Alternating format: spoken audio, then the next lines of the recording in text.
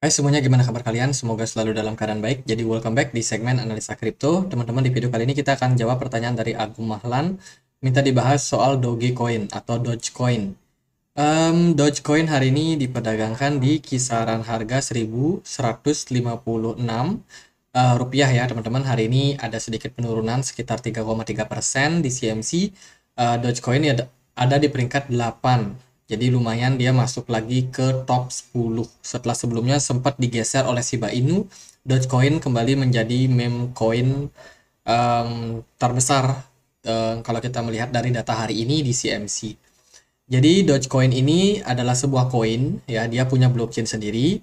Tujuannya tujuan diciptakan oleh Jackson Palmer itu buat lucu-lucuan teman-teman. Jadi nggak nyangka Dogecoin ternyata menjadi um, suksesor sebuah meme coin yang memang diciptakan memang tidak ada project secara khusus, tidak ada tujuan untuk mengembangkan project apa, nggak ada. Jadi tujuan awalnya memang diciptakan buat lucu-lucuan. Ya udah bikin aja teman-teman. Terus share-share meme di Twitter sampai sekarang masih tetap berlanjut ya. Jadi share-share meme, uh, bikin tweet, bikin rame dan ya banyak yang mengadopsi kemudian dan akhirnya uh, Dogecoin itu di influence oleh Elon Musk di pom pom ya.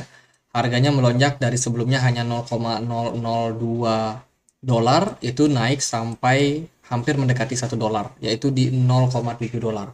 Sempat naik di all time high-nya dan sekarang harganya terkoreksi udah turun sampai 0,07 dolar. Artinya penurunan sudah sebesar 90% something. Jadi uh, Doge, Doge, sendiri atau Dogecoin sendiri itu punya supply maksimum tidak ada, tidak ada supply maksimumnya. Tapi supply totalnya itu ada di kisaran 139 miliar koin. Ya, jadi itu supply yang total, supply maksimum saat ini. Dan ke depannya Dogecoin masih bisa dibuat sebanyak-banyak mungkin unlimited, teman-teman. Jadi ini sebuah sesuatu yang tidak terlalu baik sebenarnya bagi kita para holder, para investor karena memang yang namanya koin kalau terlalu banyak itu bisa menyebabkan inflasi. Jadi satu hal yang teman-teman note juga harus harus itu ya inflasi dari se sebuah koin. Nah kita udah bahas tuh supply-nya makin banyak, makin banyak supply-nya market cap makin besar, market cap makin besar makin banyak dana yang dibutuhkan untuk mengangkat harga dari Dogecoin. Dan kalau menurut saya momentum terbaik buat Dogecoin adalah ketika fase bullish uh, market crypto masuk ke fase bullish. Mungkin itu setelah QE yang dilakukan oleh Federal Reserve. Jadi saat ini kan posisinya kita masih dalam tightening ya. Jadi suku bunga masih terus dinaikkan, um, dana di market juga nggak terlalu banyak, harus dibagi-bagi ke market saham, ke emas, ke kripto. Jadi jumlah dana cash yang sedikit ini menyebabkan harga koin agak susah naik. Nah, kita butuhkan yang kita butuhkan adalah situasi di mana inflasi udah berhasil turun, kemudian The Fed melakukan QE. Di sanalah mungkin kita baru masuk ke periode yang lebih baik, yaitu mendekati halving 2024, di mana Bitcoin biasanya akan meluncur deras naik tinggi ya.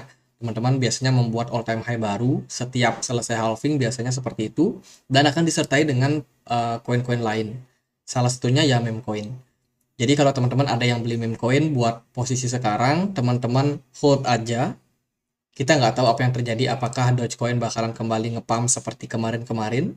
Itu pernah terjadi di tahun 2020 sampai 2021 ya teman-teman bagaimana Dogecoin benar-benar mencetak rekor dan men-trigger lebih banyak um, meme token yang masuk dan juga akhirnya bikin meme token baru. Waktu itu Dogecoin naik sekitar 37.000 persen. 37.000 persen. Ini nggak kaleng-kaleng teman-teman Makanya kita nggak tahu yang namanya meme token kita nggak tahu pasti sampai berapa dia bisa naik. Jadi kalau teman-teman ada yang punya, um, pastikan dana yang kalian punya itu teman-teman sudah diversifikasi dulu ke beberapa aset kripto. Kalau men kalau menurut saya itu lebih baik jangan all in di satu meme, meme token. Ya, jadi kita boleh alokasikan misalkan 10%, 20% dari dari total aset kripto kita untuk dibelikan meme token. Tujuannya ya untuk memanfaatkan situasi-situasi FOMO seperti ini. Dogecoin pernah naik sekitar 37 persen. 37 ribu persen teman-teman itu bayangin teman-teman kayak punya uang 1 juta rupiah terus uang kalian naik ke 37.000 tiga 37 juta teman-teman jadi dari dari uang satu juta naik ke 37 juta atau kalau teman-teman invest 100 juta misalkan itu sama kayak teman-teman langsung punya 3,7 miliar. Dari 100 juta jadi 3,7 miliar. Ya kurang lebih seperti itu. Makanya ya itu sangat-sangat luar biasa ya. Eh bener ya 37 miliar atau 370 miliar. Jadi ya itulah teman-teman. Jadi nggak banyak banget uh, duitnya. Jadi kalau dihitung ya kayaknya halu. Nah, kalau kita lihat dari pergerakan dari Doge sekarang itu bergeraknya cukup sideways dari 2022 bulan November sideways saja di kisaran 0,09 sampai dengan 0,06. Jadi kurang lebih pergerakannya nggak ke mana-mana. Jadi ini salah satu pembeda antara Dogecoin, meme, meme coin dengan Bitcoin. Kalau Bitcoin bergeraknya perlahan-lahan naik. Kalau Doge dia sekarang sideways tapi ketika dia momentum bullish itu naiknya gila-gilaan. Dia nggak bakal ngerem teman-teman. Jadi naiknya sangat-sangat signifikan. Seperti yang sebelum-sebelumnya. Uh, Dogecoin juga sama kurang lebih dia bergerak sideways kalem seperti tidak ada sesuatu tapi ketika momentumnya muncul harganya langsung melonjak. Dan tanpa rem. Ini pun juga dia masih dalam konsolidasi. Kapan dia ngepam kita nggak pernah tahu teman-teman. Intinya kita yang ada beli Doge Doge atau Shiba atau koin-koin meme yang lain ya paling nggak itu sih. Jangan all in alokasikan berapa persen saja yang teman-teman ikhlaskan. Kalau dia nanti ngepam tinggi ya ya udah itu rezeki kalian. Kalaupun nggak ngepam ya siapa yang tahu ya nggak semua meme koin bakalan naik juga. Jadi ya itu kalau dia nggak ngepam ya teman-teman juga harus ikhlas. Kemudian kalau kita lihat dari transaksi yang dilakukan ini cukup rame ya. Eh, Doge ini cukup rame di mainnetnya. Jadi banyak orang juga yang melakukan transaksi perdagangan um, ataupun transfer menggunakan Dogecoin. Ini keren sih. 1 Mei ini ada banyak sekali transaksi yang ter sedang terjadi di mainnetnya. Um, kemudian di Twitter mereka juga nggak ngepost sebuah event ya. Paling event terakhir yang teman-teman mungkin pernah lihat adalah proyek luar angkasa Elon Musk didanai uang kripto Dogecoin. Dogecoin, teman-teman. Ini beritanya di tahun 2021.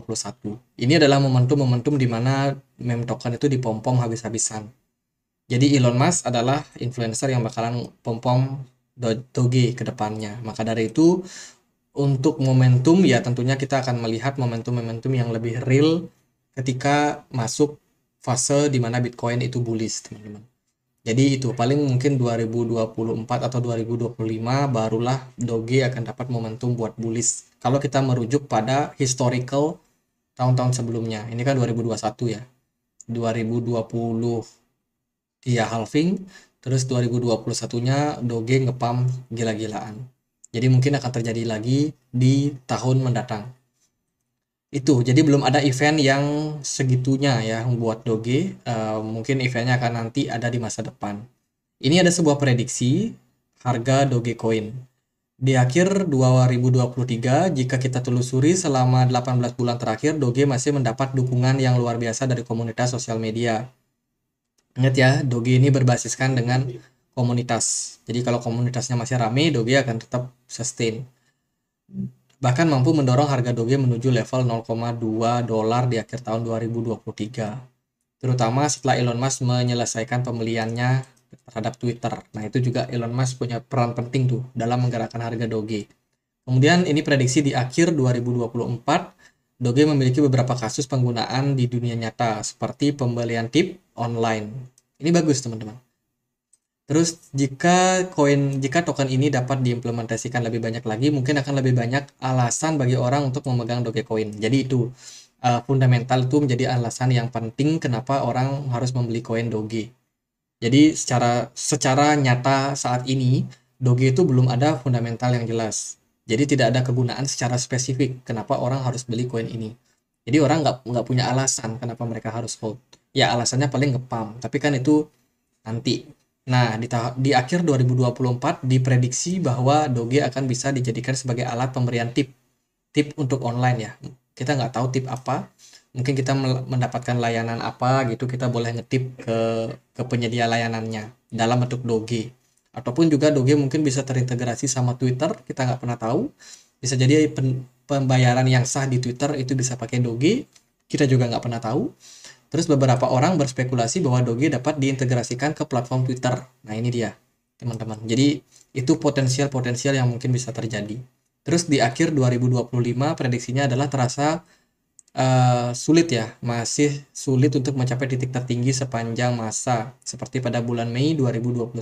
Jadi diprediksi Doge uh, akan sulit mencapai all time high yang pernah mereka capai sebelumnya. Kalau menurutku sih ya memang sulit ya. Kan kan tadi udah dibilang makin besar kapitalisasi pasar, makin banyak dana yang dibutuhkan. Makin lama supply Doge makin naik.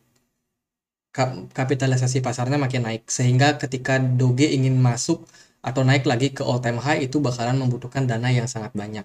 Tidak impossible, tidak tidak berarti ini nggak mungkin, tapi mungkin hanya saja sangat sulit. Jadi kurang lebih seperti itu.